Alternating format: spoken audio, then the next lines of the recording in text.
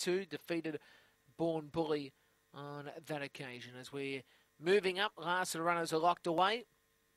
And we're about to see the signal. There's the green light. The lure's on the move.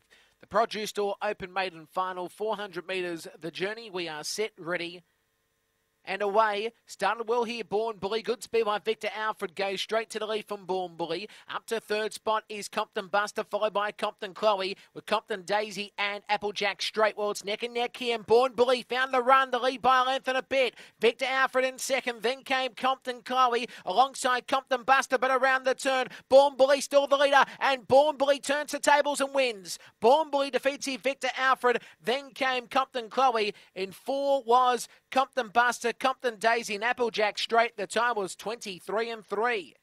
Good battle.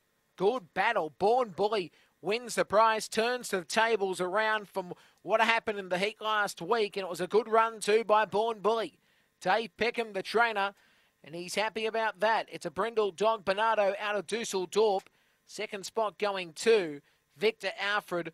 Lee Bartholomew, the trainer, to Black Dog, Elite State out of Dusty Pearl. And third spot going to the seven black in Compton Chloe for Tracy Price. It is a black girl, Patty Wacker out of Miss Free Love. Good run. Numbers will be 1, 8, 7, and 5. 23 36 the time, and the margin will come up shortly. Absolute barn burner coming down the back straight, both of those two, and they were really just hammering each other, trying to find the better run through. At the end, it was all about the one red and born bully.